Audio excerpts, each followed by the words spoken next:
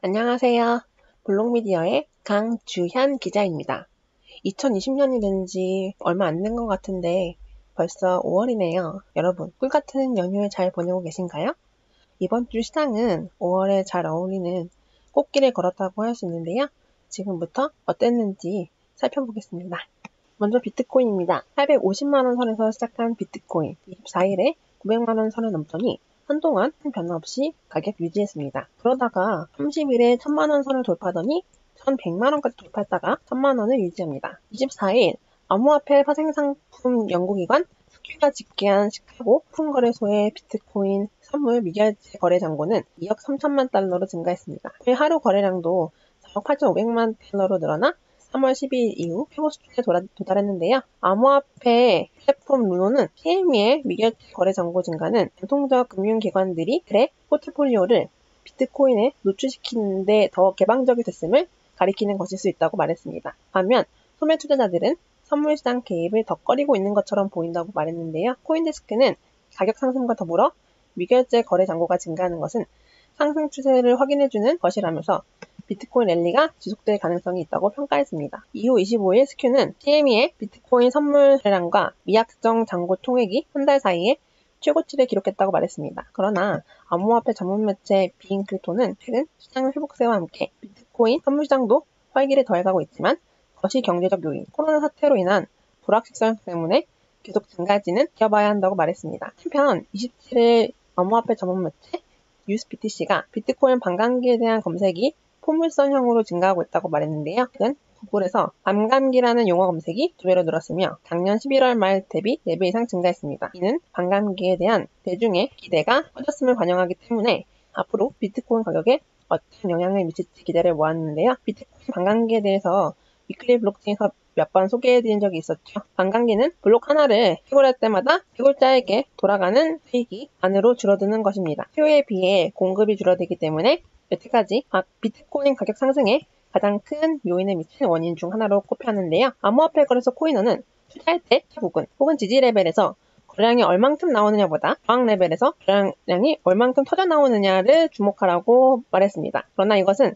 단기적인 관점이며 조금 더 거시적으로 보자면 상승 기울기 자체가 플러스 양의 값에서 마이너스 음의 값으로 넘어가는 흐름이 포착되고 있으며 이는 상승 매수세가 이전과 다르게 힘이 빠지고 있음을 보여준다고 했는데요. 시적으로 보자면 하락의 국면으로 넘어가고 있음을 의미하며 미시적으로 어느 저항선을 찍고 내려갈 것이냐가 관건이라고 했습니다. 29일 코인데스크에 따르면 비트코인은 기사 보도 시점 기준 4월에 26% 올랐고 올해 들어 13.6% 상승했습니다. 비트코인의 30일 종가가 1,428달러 아래로 내려가지 않는 한 비트코인은 5년 연속 4월에 상승하게 되는데요. 비트코인의 4월 실적은 전통시장의 다른 주요 자산들과 비교할 때 더 돋보입니다. 스큐에 따르면 조사 시점 기준 비트코인의 4월 상승률은 26.71%로 금, 뉴욕 증시, S&P 500 지수 달러를 크게 앞섰는데요. 미국 원유 가격은 같은 기간 36.81% 하락했습니다. 비트코인이 4월에 좋은 성적 을 올린 것은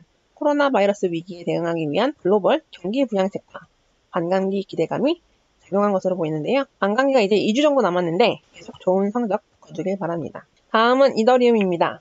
24일 22만원 선에서 출발한 이더리움. 25일쯤엔 23만원을 넘어섭니다. 29일부터는 비트코인이 급등한 덕분인지 계속 급등해 30일 27만원까지 기록했다가 다시 26만원 선으로 하락한 모습인데요. 자산운용사 그레이스케일이 2020년 들어 채굴된 이더리움 중 거의 절반을 투자금으로 유치했다고 27일 비인크립토가 보도했습니다. 그레이스케일이 지난달 발표한 보고서에 따르면 그레이스케일 이더리움 트러스트에는 올해 채굴된 이더리움의 48.4%가 유입된 것으로 집계됐는데요. 이러한 수치는 그레이스케일이 이더리움 등 암호화폐 투자에 대해 이전보다 관심이 높아진 것을 반영하고 있는데 이 회사는 실제로 2020년 들어 암호화폐 투자를 많이 한 것으로 알려졌습니다. 또한 28일 뉴투데이는 한 벤처 기업의 분석가 아담 코크란이 이더리움 네트워크 전체에서 가장 많은 이더리움 보유하고 있는 지갑 1만 개를 분석한 결과를 발표했는데요. 분석 결과 지난 6개월 동안 이들 지갑에 유입된 이더리움은 총 3,360만 개였는데 이 중 1,950만 개만이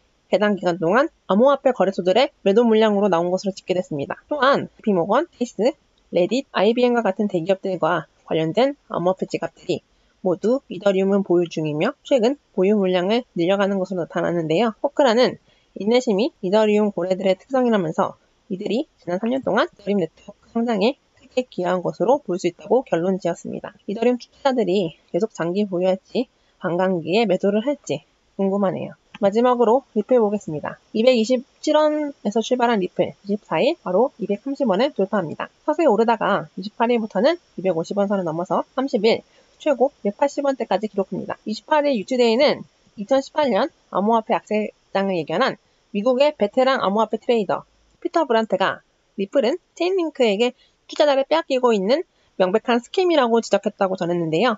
이와 관련해 리플 구매자들은 결국 그것이 scam이라는 것을 알게 됐다. 체인링크는 단순히 리플에 환멸을 느낀 투자자들이 구입하며 가격이 오른 거라 덧붙였는데요. 리플 지지자들의 항의가 몰리자 그는 암호화폐 커뮤니티는 무례함과 troll들로 가득 찼다며 더 이상 비트코인 가격 예측 트윗은 업로드하지 않겠다고 밝혔습니다. 이와 관계없이 29일 리플은 공식 채널을 통해 태국 최대 상업은행 시암 상업은행 해외 송금 서비스를 지원한다고 밝혔습니다. 한편 데이비드 슈워츠 리플 최고 기술 책임자 유튜브 채널이 차단된 것으로 알려졌는데요. 코인데스크는 최근 리플사가 소송 관련 영상 업로드한 이후 이 같은 조치가 이어졌다며 트윗 차단과 연관이 있을 수 있다고 전했는데요. 다사다난한 리플이 계속 좋은 가격 추이를 보였으면 좋겠습니다. 오늘 저희가 준비한 위클리 블록체인은 여기까지입니다. 모두 재밌게 보셨길 바라며 도움이 됐다면 구독과 좋아요 잊지 마세요. 저는 다음 주에 더 유익한 자료 분석으로 인사드릴 거 약속드리며 모두 즐거운 연휴 보내시길 바랍니다. 시청해주신 여러분 감사합니다.